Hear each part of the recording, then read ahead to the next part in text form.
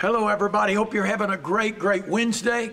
Hope you're having a good lunch. If you're on lunch hour just taking a break, relaxing, whatever it is, I hope that you're having a great, great day. Hey, I want to take just a few moments today and I want to encourage you with what I believe the Lord is doing and up to. I believe we're being poised and positioned for the greatest move of God that possibly the earth has ever seen. And here's the great thing you and I get to be a part of it. And I'm so excited about that. You know, the Bible talks about in the book of Isaiah, it was in the year that King Uzziah died, Isaiah said, I saw the Lord. Matter of fact, he said, I'm going to read it to you, all right?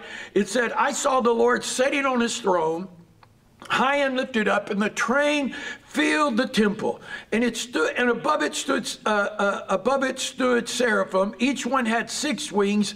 With two uh, covered his face, with two he covered his feet, and with two he flew.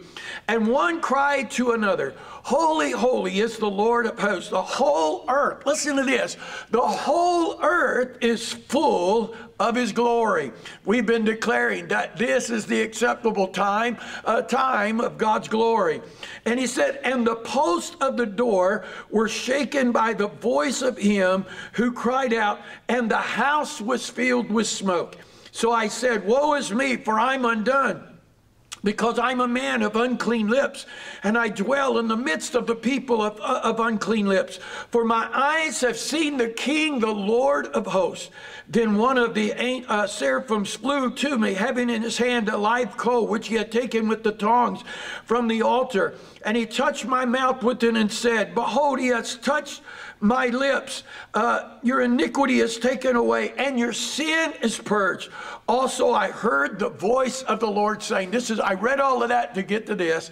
I heard the voice of the Lord saying, Whom shall I send, and who will go for us? Here, here's a question Whom will I send? Well, I don't know about you. I want to be one of those that God will send and be a part of this great move of God. I believe you are too. So, what does it take? What does it take for us to be positioned properly? Well, first of all, I think we can find it right here in this passage of Scripture. It's somebody that's willing to recognize that God is moving. Friend, I got to ask you are we so caught up with all the things that are going on around us? And I know it's got our attention, but are we so entrapped by that that we are missing what the Lord is up to? I think first we got to get our focus on the fact uh, uh, that God is moving and get our eyes focused upon Him. Here's the second thing. Remember, the question is, whom shall I send and who will go for us? So here's the second part. I think, are you available?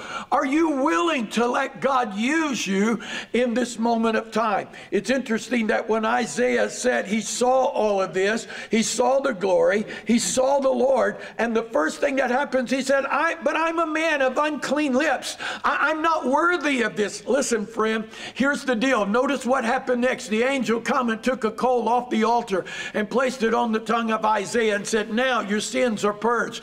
Listen, here's the deal. All that God is looking for is somebody that will be available, somebody that will avail themselves to His work and His ability and let God worry about taking care of us. You mean, Pastor, that gives me the right to sin and all that? No, not at all. But so many times we talk ourselves out of the move of God and what God wants to do with us because we feel unworthy, either because of our sinfulness or even because of things of past that we, we've been under the blood. But Jesus is touching us for this hour.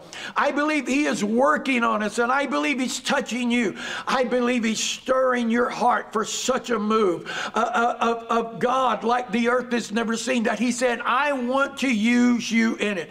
Here's the third thing Are you ready to go? Where do I got to go? He may not send send you anywhere. It's not about traveling across the world. It's not about jumping on a plane and going somewhere. It may just be wherever you go, wherever your world is. That's why he said in the scripture, Go ye into all the world and preach this gospel. See, your world's different than my world. It's wherever you go throughout the day. I believe God just wants you to be available to Him.